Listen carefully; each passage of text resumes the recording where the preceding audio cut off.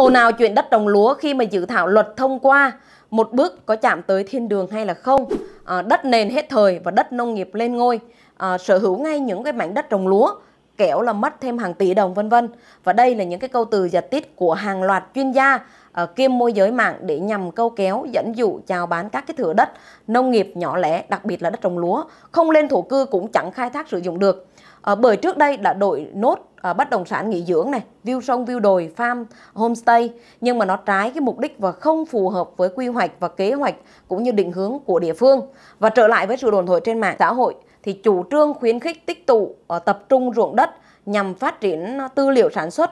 tăng cường đầu tư vốn và công nghệ để mà đi lên sản xuất hàng hóa, nông nghiệp để phục vụ thị trường khó tính như là Nhật hoặc là EU đã có từ rất là lâu và được nhấn mạnh trong cái điều 8, điều 192, 193 của luật này. Và để gia tăng nguồn lực xã hội trong lĩnh vực này, luật cũng đã mở hơn về đối tượng là cho phép người không trực tiếp sản xuất nông nghiệp điều 176 177 và tổ chức kinh tế. Doanh nghiệp được nhận chuyển nhượng đất nông nghiệp, đất lúa nhưng mà phải đảm bảo cái điều kiện như là hạn mức nhận chuyển nhượng ờ, đối với cá nhân, ờ, phương án đầu tư sử dụng được duyệt đối với cái diện tích lớn vượt hạn mức thì phải dựa trên cái điều kiện đất đai, công nghệ, cơ cấu lao động, cơ cấu kinh tế và đô thị hóa theo quy định chi tiết của chính phủ và tại nghị à, định hướng dẫn và chính sách của địa phương, nghĩa là